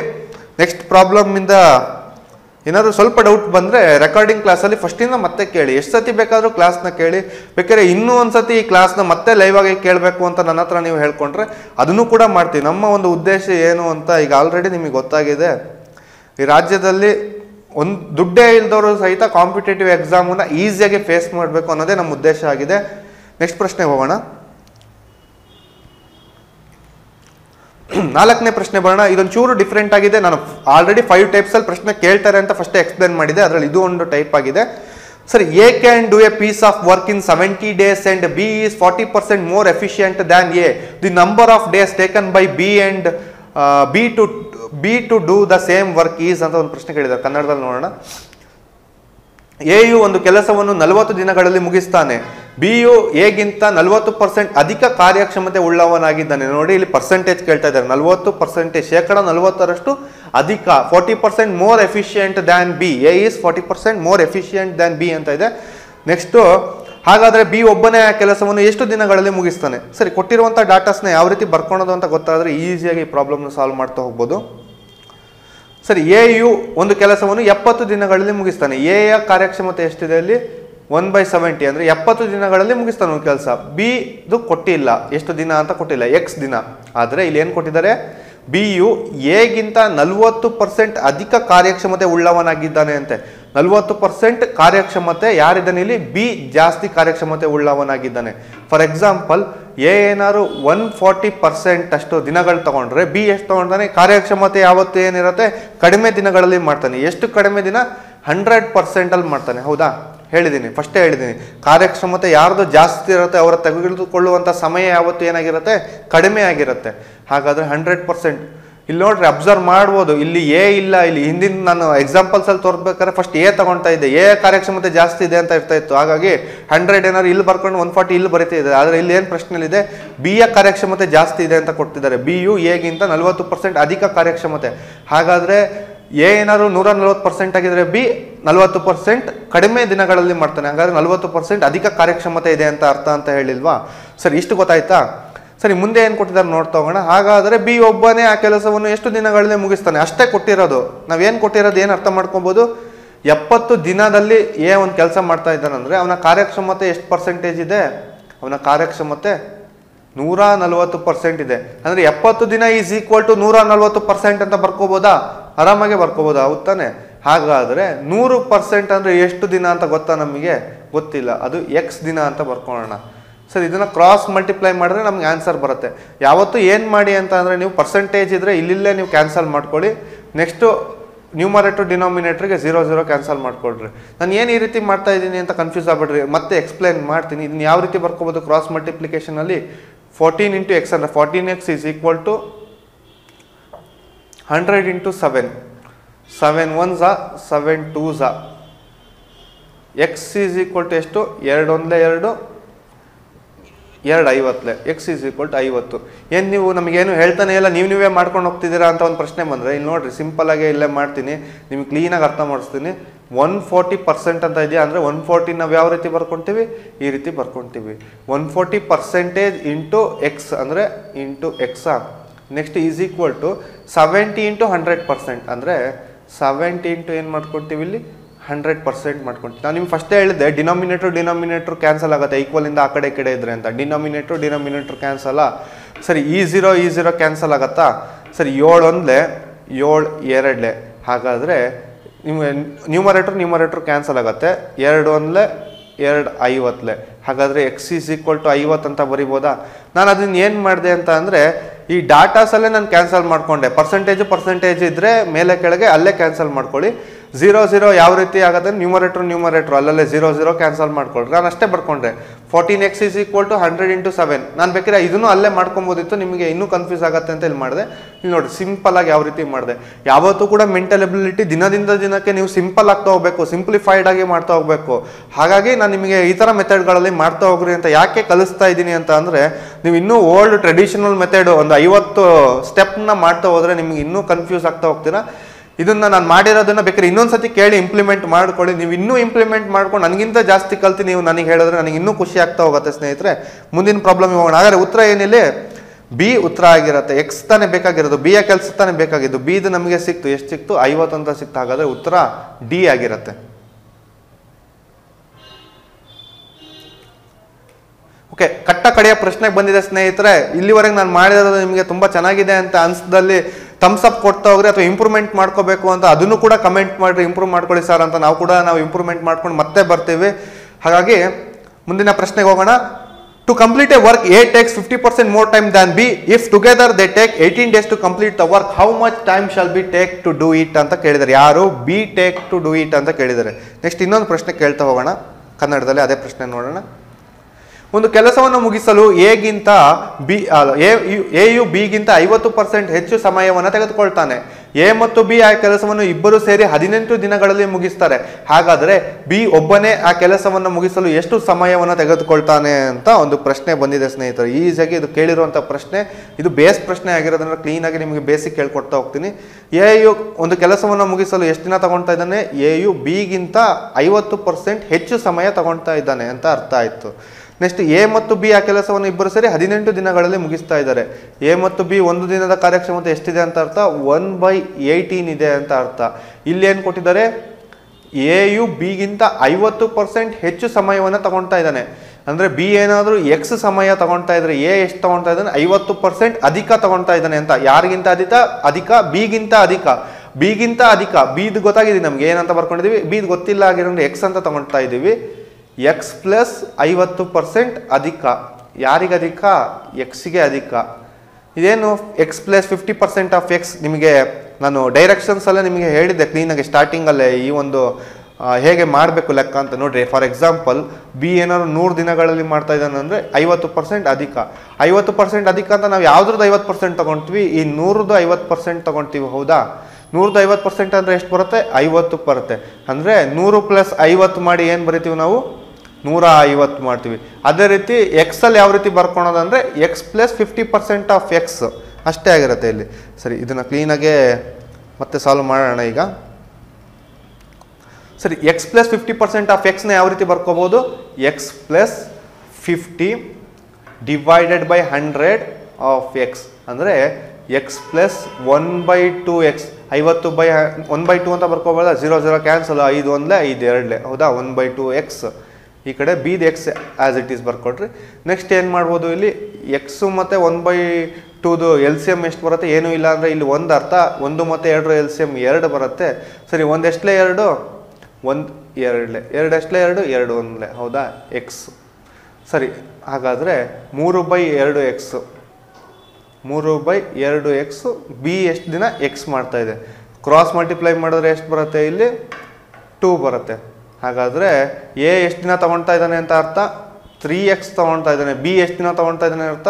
ಟೂ ಎಕ್ಸ್ ತೊಗೊಳ್ತಾ ಇದ್ದಾನೆ. ಆಯಿತಾ? ಎ ಯ ಕೆಲಸ ಎಷ್ಟಿದೆ? ಮೂರು ದಿ ಮೂರು ಎಕ್ಸ್ ದಿನಗಳು, ಬಿ ಯ ಕೆಲಸ ಎರಡು ಎಕ್ಸ್ ದಿನಗಳು. ಅದನ್ನ ಇಲ್ಲಿ ಬರ್ಕೋಬೋದಾ? ಒಂದು ದಿನದ ಕಾರ್ಯಕ್ಷಮತೆ ಎ ಎಷ್ಟಿದೆ? One by three x. ಬಿದು ಎಷ್ಟಿದೆ? ಒಂದು ದಿನದ ಕಾರ್ಯಕ್ಷಮತೆ one by two x is equal to one by eighteen. ಹಾಗಾದರೆ ಇದ್ರದ್ದು ನಾವು ಕಂಡುಹಿಡಿಬೋದಾ ಏನು ಎಲ್ ಸಿ ಎಂ ಅಂತ ಈಸಿಯಾಗಿ ಮಾಡ್ತಿರ್ತಾನೆ. ಮೂರು ಮತ್ತು ಎರಡರದ್ದು ಎಲ್ ಸಿ ಎಂ ಎಷ್ಟು ಬರುತ್ತೆ? ನೋಡ್ರಿ ಎಷ್ಟು ಮೂರಿದೆ. ಮೂರು ಇಂಟು ಎರಡು ಮಾಡಿದ್ರೆ ಆರು ಬರುತ್ತೆ. ಆರು ಎರಡರಿಂದನೂ ಭಾಗ ಆಗುತ್ತೆ. ಹಾಗಾದರೆ L C M six x. ಮೂರು ಎಷ್ಟಲೇ ಆರು? ಮೂರು, ಎರಡಲೇ ಆರು ಪ್ಲಸ್ ಎರಡು ಎಷ್ಟಲೇ ಆರು? ಎರಡು ಮೂರಲೇ ಆರು is equal to one by eighteen. ಹಾಗಾದರೆ ಐದು by six x is equal to one by eighteen ಅಂದರೆ ಡಿನೋಮಿನೇಟ್, ಡಿನೋಮಿನೇಟ್ರ್ ಅಲ್ಲೇ ಕ್ಯಾನ್ಸಲ್ ಮಾಡ್ಕೊ. ಆರು ಒಂದಲೇ ಆರ್ ಮೂರಲೆ. ಹಾಗಾದರೆ ಎಕ್ಸ್ ಈಸ್ ಈಕ್ವಲ್ ಟು ಐದು ಇಂಟು ಮೂರು ಅಂತ ಬರ್ಕೋಬೋದಾ? ಎಕ್ಸ್ ಈಸ್ ಈಕ್ವಲ್ ಟು ಹದಿನೈದು. ನಮಗೇನು ಬೇಕಿಲ್ಲಿ? ಬಿ ಯ ಕಾರ್ಯಕ್ಷಮತೆ ಬೇಕು. ಬಿದು ಎಷ್ಟಿದೆ? ಅದು ಎಷ್ಟು ದಿನಗಳಲ್ಲಿ ಕೆಲಸ ಮಾಡ್ತಾ ಇದ್ದಾನೆ? ಟೂ ಎಕ್ಸ್ ದಿನಗಳಲ್ಲಿ. ಎಕ್ಸ್ ವ್ಯಾಲ್ಯೂ ಗೊತ್ತಾಗಿದೆ. ಎಷ್ಟು ಎಕ್ಸ್ ವ್ಯಾಲ್ಯೂ ಎಕ್ಸ್ ವ್ಯಾಲ್ಯೂ ಬಂದಿರೋದು ನಮಗೆ ಹದಿನೈದು. ಅಂದರೆ ಎರಡು ಇಂಟು ಹದಿನೈದು ಎಷ್ಟು ಬರುತ್ತೆ ಇಲ್ಲಿ? ಮೂವತ್ತು ಬರುತ್ತೆ. ಸಿಂಪಲ್ ಆಗಿ ನಾವು ಯಾವ ರೀತಿ ನಾವು ಪ್ರಾಬ್ಲಮ್ನ ಮಾಡ್ತಾ ಹೋಗ್ಬೋದು. ಇದು ಸ್ಟೆಪ್ಸ್ ಜಾಸ್ತಿ ನಿಮಗೆ ಕಾಣ್ತಾ ಇದೆ. ಯಾಕೆ ನಿಮಗೆ ಜಾಸ್ತಿ ಕಾಣ್ತಾ ಇದೆ ನಾನು ನಿಮಗೆ ಎಳೆ ಎಳೆಯಾಗಿ ಹೇಳ್ತಾ ಇದ್ದೀನಿ. ಹಾಗಾಗಿ ನಿಮಗೆ ಬೋರ್ಡ್ ತುಂಬ ಕಾಣ್ತಾ ಇದೆ. ನಿಜವಾಗ್ಲೂ ನೀವು ಪ್ರಾಕ್ಟೀಸ್ ಮಾಡ್ದಂಗೂ ಇದನ್ನು ಎರಡರಿಂದ ಮೂರು ಸ್ಟೆಪ್ನಲ್ಲೇ ಮುಗಿಸ್ಬೋದು. ಸ್ವಲ್ಪ ಪ್ರಾಕ್ಟೀಸ್ ಬೇಕು. ಇದಕ್ಕೆ ಮೆಂಟಲ್ ಎಬಿಲಿಟಿ ಒಂದೇ ದಿನಕ್ಕೆ ಬರುತ್ತೆ ಅಂತ ನಾನು ಯಾವತ್ತೂ ನಿಮಗೆ ಭರವಸೆ ಕೊಡಲ್ಲ. ಕೆಲವೊಂದಿಷ್ಟು ಕಾನ್ಸೆಪ್ಟ್ ಇದೆ ಬರುವಂಥದ್ದು ಆದರೆ ಈ ರೀತಿ ಮ್ಯಾಥಮೆಟಿಕಲ್ ಆಪರೇಷನ್ ಮುಖಾಂತರ ಮಾಡುವಂಥದ್ದು ಅಂದರೆ ಇದಕ್ಕೆ ಆಪ್ಟಿಟ್ಯೂಡ್ ಅಂತ ಕರಿತೀವಿ. ಕ್ವಾಂಟಿಟೇಟಿವ್ ಆಪ್ಟಿಟ್ಯೂಡ್ ಯಾವತ್ತೂ ನಿಮಗೆ ಪ್ರಾಕ್ಟೀಸ್ ರಿಕ್ವೈರ್ ಆಗುತ್ತೆ. ರೀಸನಿಂಗಿಗೆ ಬೇಡ. ನಾನು ಡೈರೆಕ್ಷನ್ ಮಾಡಿದ್ನಲ್ಲ, ಅದಕ್ಕೆ ಯಾವುದೇ ನಿಮಗೆ ಪ್ರಾಕ್ಟೀಸ್ ಬೇಡ. ಯಾಕಂದರೆ ಅದು ರೀಸನಿಂಗ್ ಆಗಿರುತ್ತೆ. ಅದು ನಿಮ್ಮ ಒಂದು ಏನು ಥಿಂಕಿಂಗ್ ಕೇಪಬಿಲಿಟಿ ಮೇಲೆ ಆಧಾರದ ಮೇಲೆ ಕೇಳ್ತಾರೆ. ಆದರೆ ಇದಕ್ಕೊಂಚೂರು ಪ್ರಾಕ್ಟೀಸ್ ಬೇಕಾಗಿದೆ ಸ್ನೇಹಿತರೆ. ಆದಷ್ಟು ನೀವು ಬೇಸ್ಡ್ ಆನ್ ಎಫಿಷಿಯನ್ಸಿ ಮೇಲೆ ಪ್ರಾಬ್ಲಮ್ನ ಸಾಲ್ವ್ ಮಾಡಿ ಡೌಟ್ ಕ್ಲಿಯರಿಂಗ್ ಸೆಷನ್ ಅಂತ ನಿಮಗೆ ಮಾಡಿಕೊಡ್ತೀನಿ. ನಾವು ಇಷ್ಟೆಲ್ಲ ಇನ್ನೂ ವರ್ಕ್ ಮಾಡಬೇಕು ಅಂತ ನಿಮ್ಗಾಗಿದೆ. ಯಾವಾಗ ಇದನ್ನೆಲ್ಲ ಮಾಡ್ತೀವಿ ಅಂತ ಅಂದರೆ, ನಮಗೆ ಒಂಚೂರು ನೀವು ಬೆಂಬಲವನ್ನು ನೀವು ಮಾಡ್ತಾ ಹೋಗ್ಬೇಕಾಗತ್ತೆ. ಯಾಕೆ ನಾವು ಮಾಡ್ತಾ ಹೋಗ್ಬೇಕು ಅಂದರೆ, ನಾವು ಬೇರೆ ಬೇರೆ ಸ್ಟಾಫ್ನ ಕರೆಸಿ ಕ್ಲಾಸ್ ಮಾಡೋದಕ್ಕೆ ಹೊರಟಿರೋದ್ರಿಂದ, ನಿಮ್ಮ ಬೆಂಬಲ ಇನ್ನೂ ಬೇಕು ನಮಗೆ.